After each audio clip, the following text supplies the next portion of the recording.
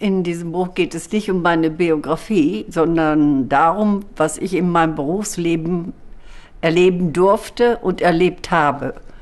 Und äh, es soll jungen Menschen inspirieren, dass sie es auch versuchen, aus ihrem Leben etwas zu machen, Sinnerfüllung selbst zu erfahren und sagen, es geht nicht, das gibt es nicht, alles ist möglich. Ich glaube, dass wir Menschen sehr viel gefühlsmäßig auch erfassen können und gerade Frauen können das. Und ich glaube auch, dass ich das kann. Äh, dass ich Menschen erstmal Vertrauen entgegenbringe. Ich mag Menschen gern und ein Gefühl auch dafür habe, wie, wie, kann ich Menschen mitnehmen in einem Gespräch oder in einem Projekt und äh, Begeisterung, mit Begeisterung äh, das Ganze erleben. Und das ist, glaube ich, ganz wichtig fürs Berufsleben.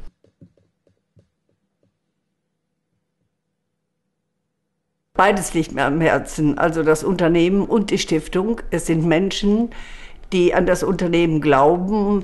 In der Stiftung und im Unternehmen besonders wichtig ist es mir, das Werk Mannes, Mannes weiterzuführen, die Unternehmenskultur von Bertelsmann auch in die Zukunft fortzuschreiben.